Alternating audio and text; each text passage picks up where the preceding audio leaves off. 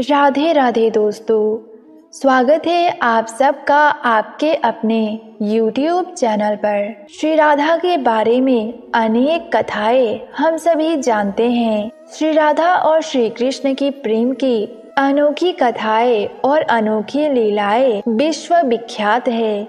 लेकिन क्या आपको पता है देवर्षि नारद ने भी श्री राधा और श्री कृष्ण के अनेक कथा और लीलाओं में बहुत ही बड़ी भूमिका निभाई है। और अंत में किस प्रकार देवर्षि नारद श्री जी की कृपा से नारदीय गोपी बन गए।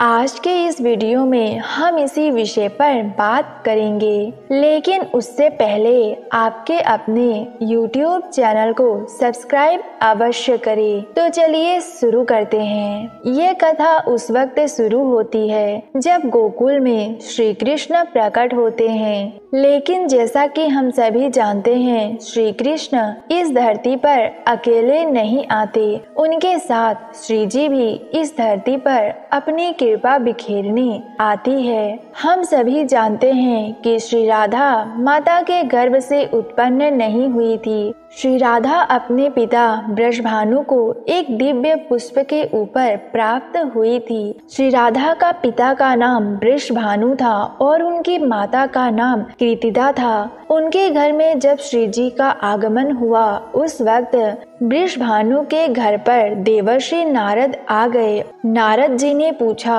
कि आपके घर पे किसी बच्चे का जन्म हुआ है। ब्रजभानु जी ने कहा हाँ मेरा श्रीदामा नाम का एक पुत्र है। तब नारद जी ने उसे आशीर्वाद दिया और पूछा, क्या हाल ही में ऐसी कोई बच्ची भी पैदा हुई है? उस वक्त ब्रजभानु जी ने कहा हाँ कुछ दिन पहले मुझे एक पुत्री का आशीर्वाद मिला है। देवर्षि नारद, ब्रजभानु महाराज से पूछते हैं, मैं क्या आपकी पुत्री को देख सकता हूँ? मैं उनकी जन्म कुंडली बनाना चाहता हूँ और उन्हें आशीर्वाद भी देना चाहता हूँ। मैं उनके भविष्य के गुणों का वर्णना करूँगा। कृपया चंदन, यमुना जल और अन्य सामग्री इकट्ठा करें।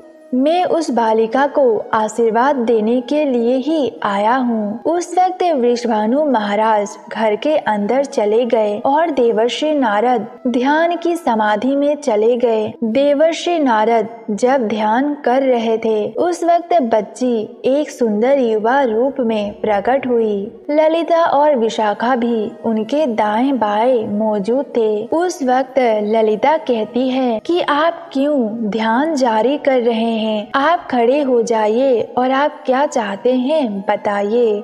उस वक्त देवर्षि नारद को एक क्षण के लिए ही श्री जी का दर्शन हुआ। लेकिन क्योंकि उन्हें देखकर उनकी प्यास नहीं बुझी देवर्षि नारद वहाँ से चले गए और हज़ारों वर्ष तक नारद कुंड में बिना खाए पिए लगातार राधा मंत्र का जाप करने लगे।